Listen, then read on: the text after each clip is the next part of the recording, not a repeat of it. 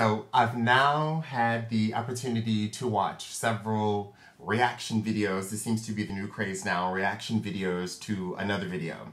The biggest thing in social media for a minute, for a hot minute, was Donald Glover's, aka Childish Gambino's This Is America.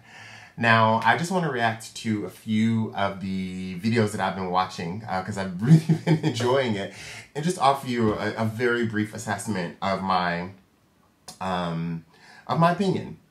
Um, because after all, that's all we can offer because this is in fact art. Um, and art, as one of the recent videos I just said, you know, a father and son, uh, really interesting to watch how different people react to this. And the father's like, you know, he was shocked at the stuff as, uh, you know, a middle-aged black man, but he's like, listen, this is art and it's meant to make us think. Now, I watched another father-son. This was uh, uh, two white men.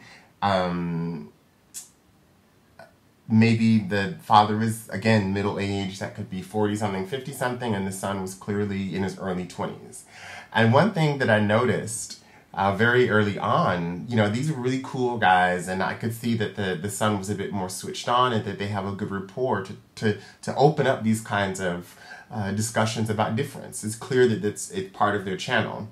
What I did find interesting though was in relation to this video, the father said when he saw the kids, uh, he thought they, he couldn't tell where it was. You know, he's like, where are they? Because they're somewhere in the world.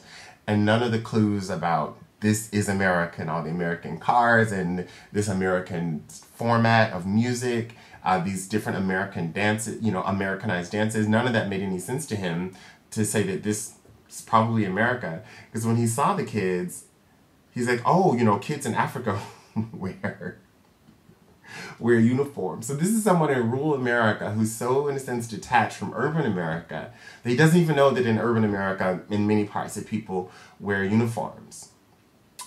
But it was also the fact that his first his he was drawn first to Africa when seeing black people as opposed to accepting that this is a diverse nation. Even people who are switched on carry that implicit bias. And then the second part about um, and this is what really gets me.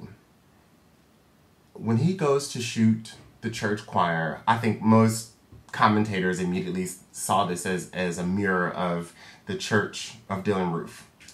But again, this guy, even though he knows that he's looking at art, he couldn't imagine that the artist would put himself as uh, in different people's perspectives. You know, so now I'm acting like this and I'm acting like this, and that you could see that voice change even within within the um, video. So no, you know, sometimes he's being me the rapper, and then he's saying this is how we act as America, and then you see him make that switch in in, in positions very often. But if you only see him as a black man, you don't even see him as an entertainer or as an artist, as someone who could develop a critical perspective. You just see him as that must be his life.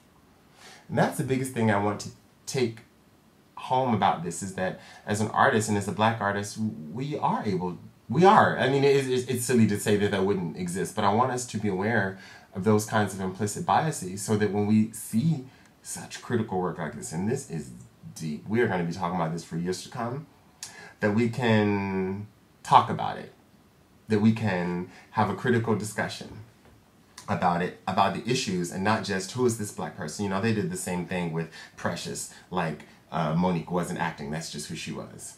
There's those eyes that are so scary. And to close, uh, I can't play the music because I don't want to get in copyright trouble. I just like to do my favorite dance. yeah, brother got down.